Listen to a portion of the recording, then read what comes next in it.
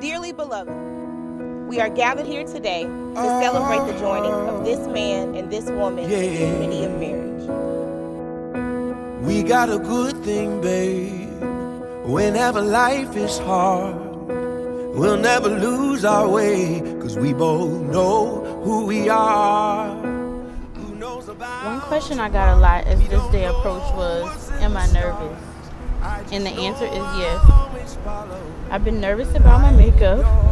I've been nervous about how this day would flow, and I've specifically been nervous about my eyelashes and my eyebrows because, you know, I am about that. But the one thing I have not been nervous about is marrying you. I've been certain, definite, and sure about marrying you because you are my love, my best friend, and my family. Since day one, you have been so intentional with me, and I want to thank you for it. Thank you for leaving the porch light on when I get home. Thank you for acting on the vows in sickness and in health and the way you took care of me during surgery and recovery. Thank you for being emotionally available and being my safe space. Thank you for making sure in the most uh, that I'm most comfortable during hurricanes and storms because you get it and you give me.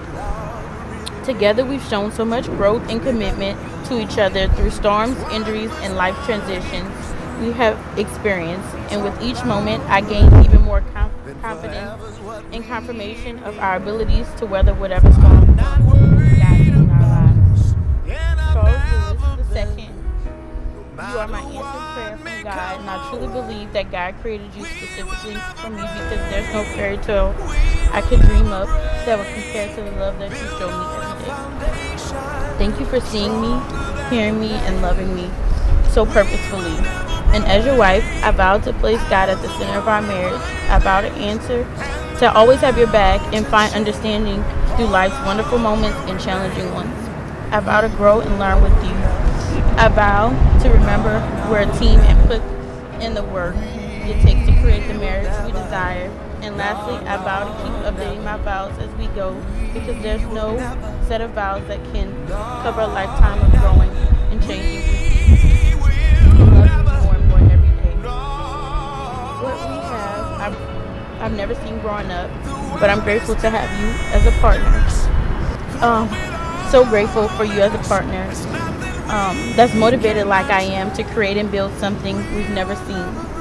Today we start a new chapter as husband and wife, and I'm not nervous about being your wife. I'm honored that you chose me, and I will continue to choose you. I love you forever and always.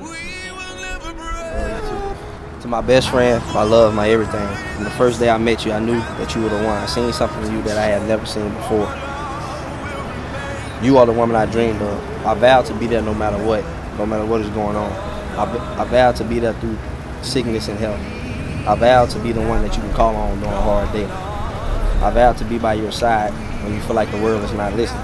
I vowed to be your protector from everything. My priority will be always to make sure you're okay and always make sure our family is taken care of. I vowed to always, I vowed to always give you my heart, my love, my patience, my understanding.